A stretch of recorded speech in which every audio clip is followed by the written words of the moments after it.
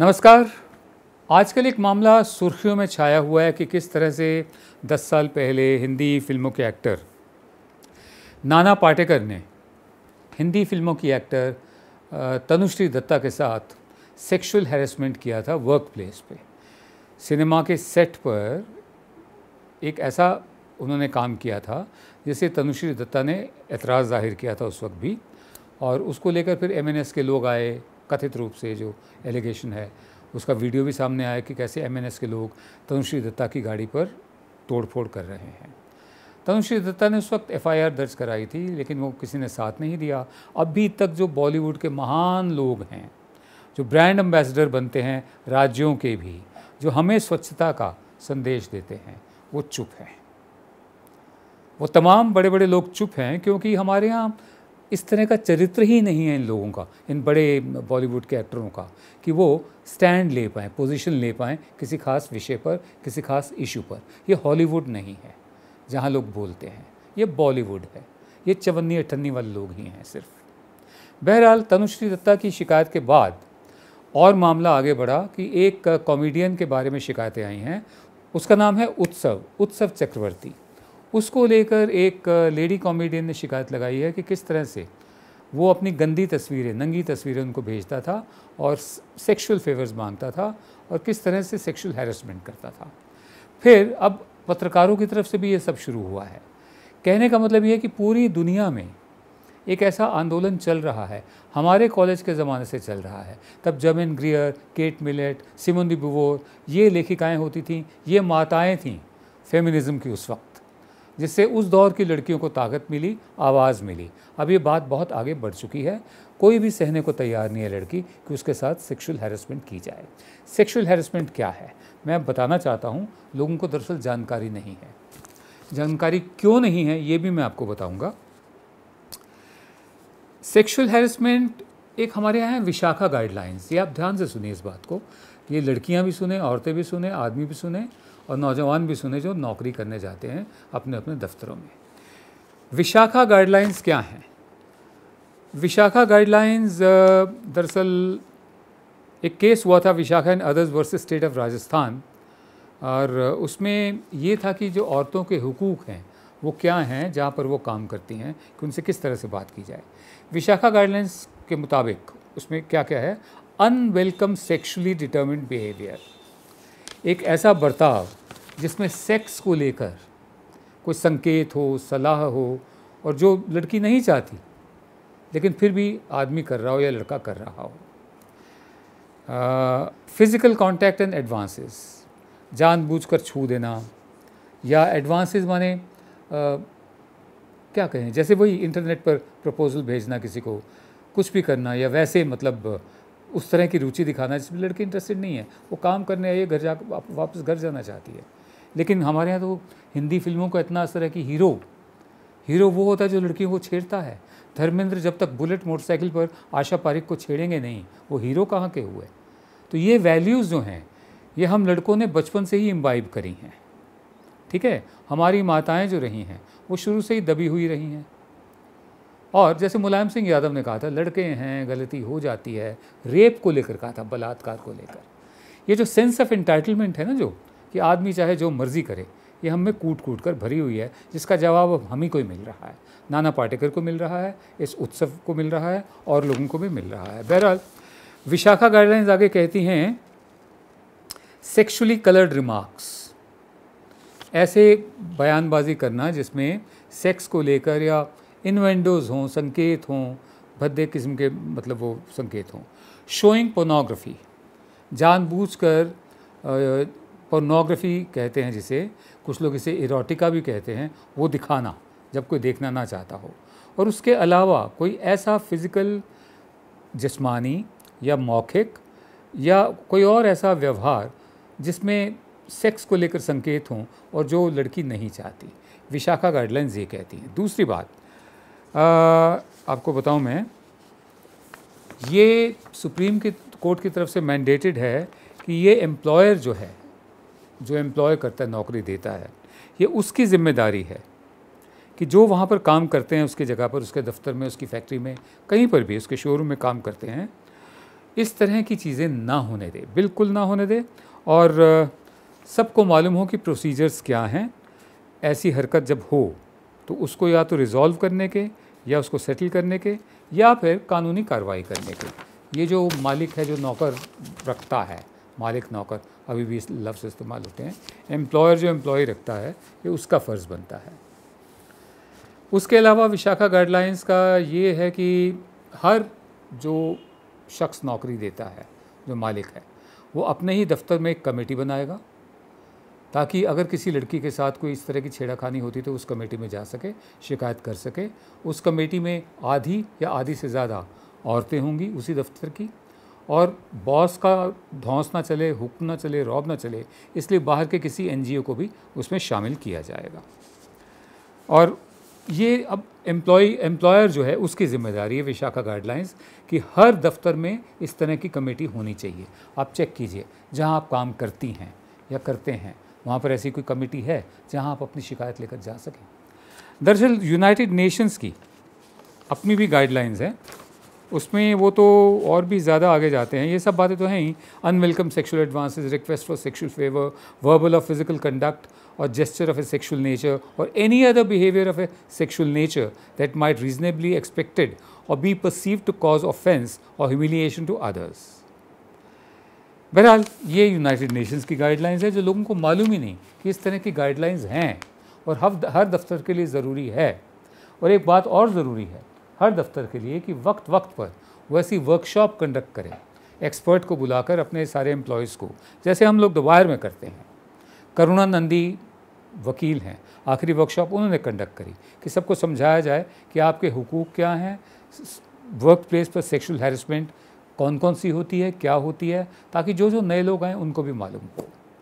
दरअसल हमारी दिक्कत ये है, अब मैं आपको अपनी दिक्कत बताऊँ, कि मेरी उम्र के लोग तो हम बहुत बड़े हो गए हैं। मैं पैंसठ साल का हूँ। चालीस के बाद के जो लोग हैं, हम एक ऐसे कस्प पर हैं, कस्प अंग्रेज़ी का शब्द है, जिसे सिरा कह सकते हैं, जिसे कोना कह सकते हैं, कि हम यहाँ तक तो पहुँच गए हैं, अब कहीं और जाना है, एक सिरा तक पहुँच गए हैं, अब दूसरे सिरे तक पहुँचना है। हम पेट्रियाकी पितृ सत्तात्मक सत्ता और फेमिनिज़म, उसके कस्प पर हैं, चालीस से ऊपर के लोग। बचपन से हमारी ट्रेनिंग ये है कि अपनी बहन, अपनी माँ, अपने घर के किसी भी परिवार की कोई औरत, पूरे ख़ानदान की इज़्ज़त उसमें है। और जो उसको छेड़ेगा, हम उसके घर की औरत, बहन, माँ हाँ उसके परिवार की इज़्ज़त को ख़त्म कर देंगे। ले देकर हमारी कंडीशनिंग ये रही है कि लड़के जो होते हैं, वो तो बने ही इम्प्रेस करने के लिए हैं। हीरो होते हैं। और ये लड़की का काम है कि वो इम्प्रेस हो हाँ और नंबर दो की स्थिति स्वीकार करे। शहरों की पढ़ी लिखी लड़कियाँ आज सशक्त हैं एम्पावर्ड हैं, लेकिन छोटे कस्बे, शहर, गाँव या दूसरे दर्जे में जो नीचे नीचे उसमें आर्थिक रूप से जो पिछड़ी हुई क्लासेस हैं, उन लड़कियों के सामने क्या रास्ता है? क्या उनको भी ये सब मालूम है? हमारी दिक्कत यही है कि हमारी माएँ हमें उस ढंग के संस्कार नहीं दे पाएँ क्योंकि हम पितृसत्तात्मक पेट्रियाकल सोसाइटी में बड़े हुए थे, जहाँ पर हम प्रोटेक्टर भी हैं हम फादर भी हैं, हम भाई भी हैं, हमारी बहन हमारी माँ की तरफ़ को देखेगा, हम उसकी माँ, उसकी बहन कर देंगे। हमारी समस्या ये है। तो संस्कार घर से आते हैं, माँ से शुरू होते हैं, वहीं से ही रहें तो अच्छा है। ये संदेश उन गटर से निकले ट्रोल्स के लिए भी है, जो किसी भी कार्यक्रम पर या किसी भी सोशल मीडिया पर माँ और बहन की गाली देते हैं। अब बताइए, इसमें माँ कहाँ से आ गई किसकी? बहन कहाँ से आ गई? लेकिन ट्रेनिंग ऐसी मिली है। गाली ही देना आता है। सन सत्तासी से लेकर और सन नब्बे तक, एक ऐसा दौर था हिंदुस्तान का, जब एक सुपरमैन नीचे जा रहा था, राजीव गांधी, मिस्टर क्लीन, और एक सुपरमैन ऊपर आ रहा था, मसीहा वीपी सिंह, मिस्टर ऑनेस्ट। उससे पहले की सुपरमैन थी मिसेस इंदिरा गांधी, सुपरमैन कह रहा हूँ मैं जान के सुपर वूमन नहीं कह रहा हूँ, सुपरमैन कह रहा हूँ बहरहाल फिर सुपरमैन का सिलसिला चलता रहा, उसके बाद वीपी सिंह के बाद सुपरमैन जो चंद्रशेखर आई के गुजराल देवे गौड़ा इनकी बात नहीं करूँ, उनको टाइम नहीं मिला। फिर लौह पुरुष आए, सुपरमैन, एल के अडवाणी विकास पुरुष, अटल बिहारी वाजपेयी। अटल बिहारी वाजपेयी के बाद अब नए सुपरमैन हैं, आज के दिन रैम्बो, प्रधान सेवक नरेंद्र मोदी। बीच में दो लोग ऐसे आए जो सुपरमैन नहीं थे। उन्होंने टीम बनाई, टीम बनाकर काम किया। पी वी नरसिम्हा राव और डॉक्टर मनमोहन सिंह। खैर, जिस बात का मैं ज़िक्र करना चाहता हूँ कि सन सत्तासी से लेकर और सन नब्बे तक माहौल में एक नारा बड़ा मशहूर हुआ था गली गली में शोर है, राजीव गांधी चोर है। ये बोफोर्स तोप को लेकर हुआ था। उसमें कहा गया था कि इन्होंने कमीशन खाई है चौंसठ करोड़ की, जिसको लेकर राजीव गांधी ने पार्लियामेंट तक में स्टेटमेंट दी थी neither I nor my family. अब वही नारा, वही कीचड़ प्रधानमंत्री पर लग रहा है, प्रधान सेवक पर लग रहा है। आजकल ये नारा चल रहा है कि मेरा पीएम चोर है, लोग अपने हाथों पे लिखवा रहे हैं।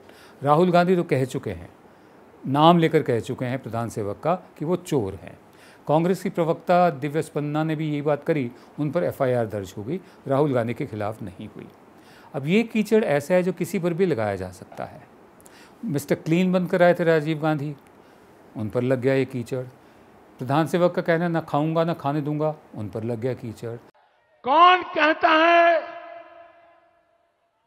भ्रष्टाचार करने की ज़रूरत होती है? भाइयों बहनों मेरा मंत्र है न खाता हूँ न खाने दूँगा। इनके जान पहचान के अपने ही लोग चाहे वो मेहुल चौकसी हों नीरव मोदी हों चाहे वो क्या विजय माल्या हों या एक नए जो आए हैं क्या नाम उनका? जतिन संदेशरा मेरा ख्याल यही नाम है। वो भी कट लिए हैं हज़ारों करोड़ लेकर। बहरहाल, अब ये कीचड़ इन पर चिपकता जा रहा है, रफ़ाल का। किस्सा ये है कि रफ़ाल नाम का जहाज़ हमें चाहिए। डॉक्टर मनमोहन सिंह के वक्त पर डील हुई थी, हुई नहीं थी, होने वाली थी। सारे प्रोसीजर पूरे कर लिए गए थे। एयर, हमारी एयरफोर्स ने सब जहाज़ों को परखा था। उसके बाद रफ़ाल को चुना था। और 126 रफ़ाल आने थे और 18 फ्लाईवे कंडीशन में आने थे। 560 करोड़ का एक रफ़ाल होना था। प्रधान सेवक मोदी जब फ्रांस गए तो उन्होंने वो डील कैंसिल कर दी और 36 रफ़ाल की डील कर दी कि फ्लाई अवे सिचुएशन में आ जाएँगे क्योंकि देश को ख़तरा है। आज जो तीन साल हो गए हैं, वो फ्लाई अवे कंडीशन में नहीं आए हैं। जो 560 का जहाज़ था, करोड़ का जहाज़ था वो करीब 1760 करोड़ का जहाज़ हो चुका है। कीमत क्यों बढ़ी है? पैडिंग कहाँ हुई है? ये नहीं बताया जा रहा। पहले हिंदुस्तान एरोनॉटिकल्स को उसमें शामिल होना था। अब अनिल अंबानी की कंपनी, जिसे एक पुर्जा बनाने का भी तजुर्बा नहीं है, उसको वो कॉन्ट्रैक्ट दिलवा दिया गया है, ऑफसेट कॉन्ट्रैक्ट। तो इसी को लेकर जो खबर है, वो ये है कि अरुण शौरी, यशवंत सिन्हा और प्रशांत भूषण तीनों ने सीबीआई में एक शिकायत दर्ज की है। पुलिस में एफआईआर नहीं की है ये। और ये पीआईएल भी नहीं है। सीबीआई में शिकायत दर्ज की है कि वो एफआईआर दर्ज करे और जाँच करे कि ये ऐसी बातें, तमाम बातें क्यों हुई हैं। बहरहाल, जो कीचड़ उस वक्त उछाला गया था, वो आज इन पर ही वापस आ रहा है। प्लेयर्स वही हैं। अरुण शौरी तब राजीव गांधी के खिलाफ इंडियन एक्सप्रेस में लिखा करते थे। आज वो यशवंत सिन्हा, प्रशांत भूषण के साथ मिलकर सोशल मीडिया में प्रधान सेवक नरेंद्र मोदी के खिलाफ बोल रहे हैं। बाकी अब देखना बाकी है कि स्तर कहाँ तक गिरता है हमारे विमर्श का। चोर कहना किसी को हाँ गली गली में शोर है। अच्छा प्रधानमंत्री मनमोहन सिंह तक को चोर कहा ये बीजेपी वालों ने पार्लियामेंट में जाकर। तो चोर कहना, आज किसी ने सुना है कांग्रेसी नेता ने आरएसएस वालों को कुत्ता तक कहा है। अब ये जो हमारा विमर्श का स्तर है, ये हमारे नेताओं का स्तर है, जिनको देखकर हम खड़े हो जाते हैं, जिनके सामने हम झुक जाते हैं, कायदे से क्या इनको वहाँ होना चाहिए जहाँ पर ये हैं? ज़रा सोचिए, चुनाव आ रहे हैं, माहौल अभी और बिगड़ेगा। आपने बहुत चुनकर, बहुत सोचकर फैसला करना है कि ऐसे लोगों को वोट बिल्कुल नहीं देना जो इतने खूबसूरत देश को बिगाड़ कर रख दिया हो, जिनके लिए राजनीति में आने का मतलब ही यही हो कि चवन्नी इधर से चोरी कर लो, अठन्नी उधर से चोरी कर लो।